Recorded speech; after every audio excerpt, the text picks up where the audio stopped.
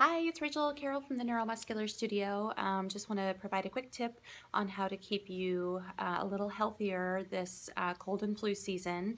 Um, you, it's something very easy that you can do with a little brush like this. It's called dry brushing, and what it does is it helps to um, stimulate your lymphatic system, which is our system that kind of um, purges all of the impurities that we have throughout our body.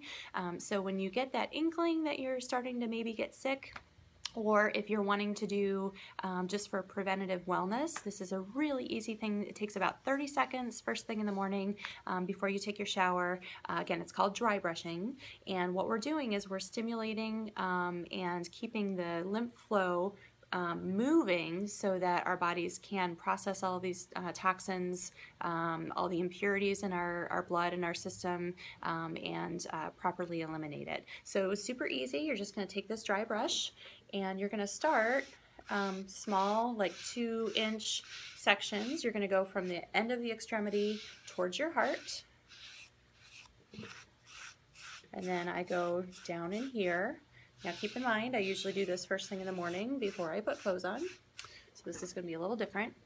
And then you're going to work the lymphs, the lymph nodes from your ear down towards your clavicle, do the other side. Okay, do, and then the other arm.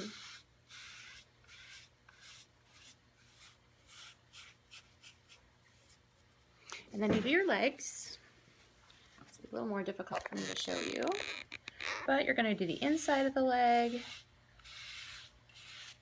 all the way up into the groin. And then the opposite. Again, up into the groin. And then I end by doing some gentle right uh, up and over. So right, up, and left in the abdomen. And I do this directly on my stomach. And that helps to get all of the fluid flowing uh, well throughout your body so that your body can uh, eliminate um, impurities um, on uh, by itself uh, before it becomes a cold. So I hope that's helpful. These are super easy to find, super cheap, um, something to do every single day just to boost your body's own defenses um, and to help keep you healthier.